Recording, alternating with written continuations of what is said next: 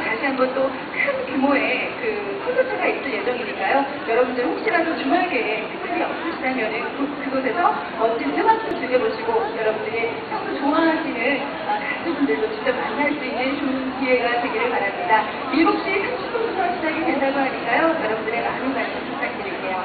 자, 계속해서 여러분들께 또 멋진 무대를 아, 소개를 해드리겠습니다. 유랑하는 집시의 선율에서 전율적인 탱고 그리고 탐색하는 보사노바에 이르기까지 거리에서 태어나 서민들의 삶을 담은 어, 여러 나라의 민속 음악을 만나보실 수 있는 또 뜻깊은 무대가 준비가 되어 있습니다.